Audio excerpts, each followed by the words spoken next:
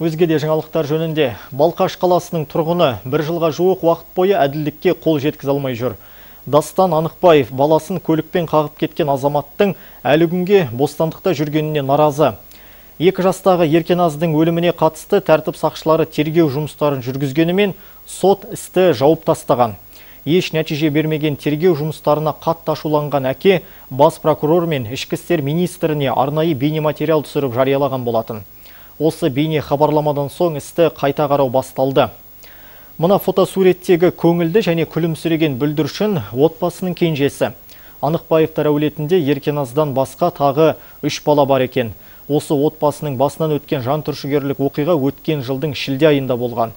Аулада әпкесімен ойнап жүрген екі жастағы қызды темір тұлпар қағып кеткен. Әкесінің айтуынша автокөлік жүргізушісі қызын елемей үстінен жүріп өткен. Қатты жарақаттан бүлдіршін оқиға орнында қайтыс болды. Алайда сот сараптамасы Еркеназды биіктіктен құлап мерт болды деп қорытынды шығарған.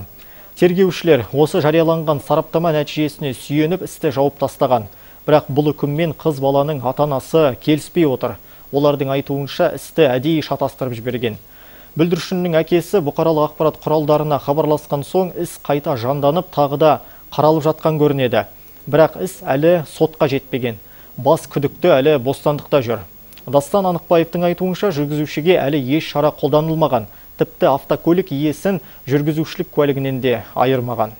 Я, я хочу, чтобы все сделали по закону. Мен істің заңмен шешілгенін қалаймын. Осы жағдайға байланысты заңда қарастырылған шаралардың барлығы қолданылса ғой. Сонымен қатар сараптама жұмысы да дұрыс жүргізілгенін қалаймын. Мұндай істің екінші мәрте қайталанбас үшін күдіктілер жазаланғаны дұрыс.